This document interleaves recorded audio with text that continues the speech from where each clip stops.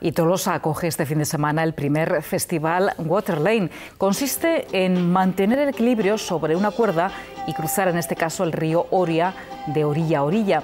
Siete cintas se han colocado a ambos lados del río y más de 40 especialistas han mostrado aquí sus destrezas.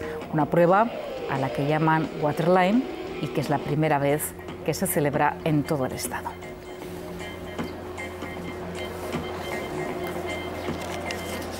Thank you.